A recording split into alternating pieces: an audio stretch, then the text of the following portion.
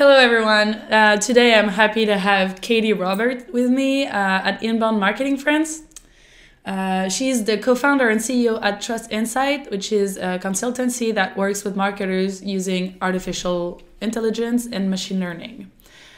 Hello, Katie. Thank Hello. you for being here. Thank you for having me. So, you're also the host of the podcast, which is In Ear Insight. Yep. And the co host of Punching Out podcast. Right. So the In Ear Insights is the company podcast that we do once a week. And then Punching Out is another podcast that I do with another marketer where we talk with other marketers about not marketing, Which is great. which is fun. it's been a lot of fun. So I, I enjoy it a lot. That's, that's great. Um, so today we're here to talk about artificial intelligence. Sure. Those for us marketers are big words, Yes. scary words. um, it just seems so big to us. So would you mind telling us your definition of artificial intelligence? Absolutely. So, artificial intelligence at the end of the day is math. And so, it's based on a foundation of statistics and probability. And so, if you know statistics, then you can start to really get um, educated on more advanced artificial intelligence, which again is just um, a series of math equations that you program to run independently, but it can only make decisions based on data that you give it.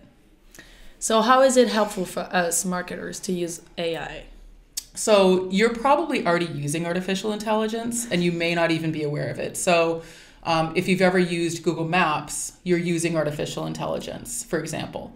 Um, but in a marketing context, um, Google Analytics is based on artificial intelligence. So one one little tip that I like to give marketers is if you look in your Google Analytics account, um, on the top right hand side, there's a little insights button, and that's Google's AI saying, I've noticed these trends, I've noticed these patterns. Were you aware of this information with your own data? So you as the marketer may not be analyzing it that way, but Google is saying, but this is what I'm seeing. And again, it's limited to the data that it has. It can't make decisions outside of that, but it's trying to feed up some additional insights for you.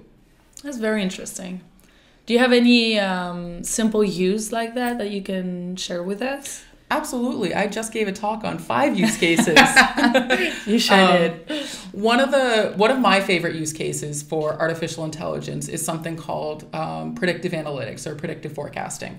And so essentially, what you're doing is you're taking historical data that's already happened, and you're running it through a AI algorithm. It's called an ARIMA model, and you're projecting it forward to understand the trends and timing of certain things. And so, as a marketer, what you can do with that is plan out your content marketing to say, if I know I want to write about these three topics, when should I be writing about them so that when people are looking for that information, they're finding me?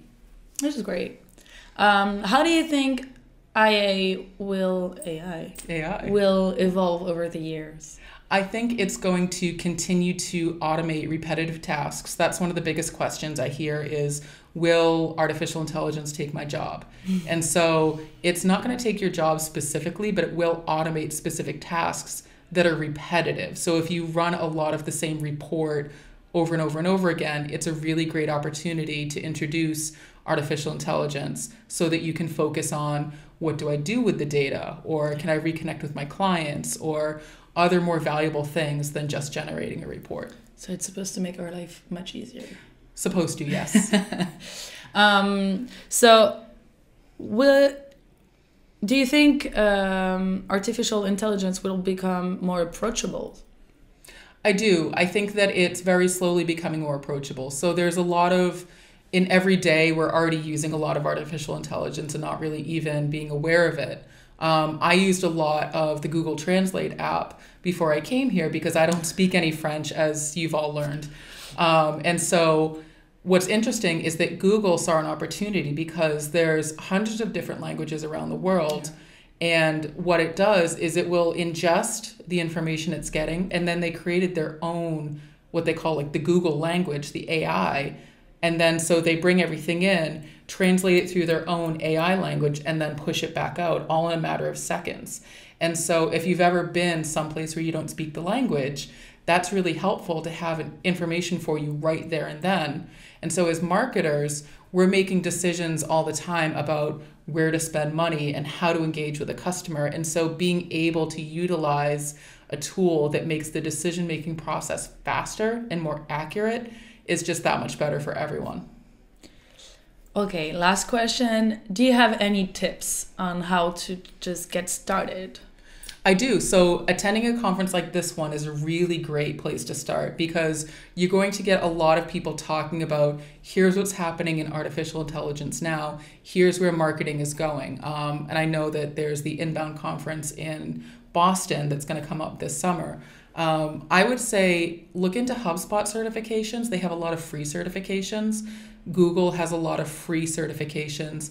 IBM, if you're looking for something more advanced, has a lot of free certifications. Sign up for newsletters that talk about artificial intelligence. Small plug, my company newsletter does that, trustinsights.ai slash newsletter. Um, we publish once a week every Wednesday, but we curate content from around the globe to help people see here's what's happening with marketing and data science and machine learning. Okay. Well, I guess I'll get started now. Get started right away. Thank you very much for being here and taking the time to answer our questions. Thank you so much. It was fun.